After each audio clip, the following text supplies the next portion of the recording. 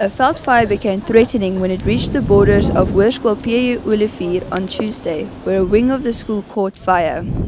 The damage to biology lab, computer centers and classroom will set the school back at least 1 million rand. Principal Pete Snyders was called at half past 1 and told that a fire was approaching his house and the school. Op daardie stadium het ek gesien ek moet eintlik maar my motors uitkry.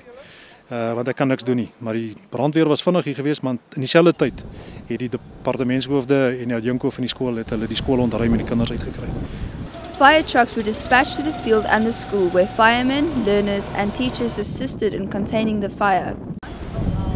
At the moment the fire has been contained but there's still a lot of smoke and right now inside there are firemen checking to see what damage has been done to the building. By 5 o'clock the school was out of danger but thick smoke still lingered.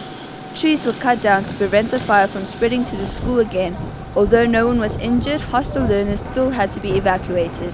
The damage will have an impact on learners' studies, according to grade 11 pupil Dean Strydom. Wel baie van my vriende wat in die koshuis is, gaan soos vanaand uitgaan. Hulle gaan nie by die koshuis slaap nie. So 'n paar van my vriende kom na my toe. So ek dink hulle voel baie happy nie. Ek dink hulle voel nogal bang vir dit. So Dit is baie moeilik om op hierdie stadium te sê wat die impak sal wees. Ek het 7 uur, 6 uur vanaand het ek 'n noodvergadering belê met die met die personeel en ons sal besluit neem, maar ek het die idee ek sal ten minste die skool moet sluit vir die res van die week. A neighbouring school has offered its facilities while PJ Olivier recovers. This is Gabi Zietsman for Rhodes TV.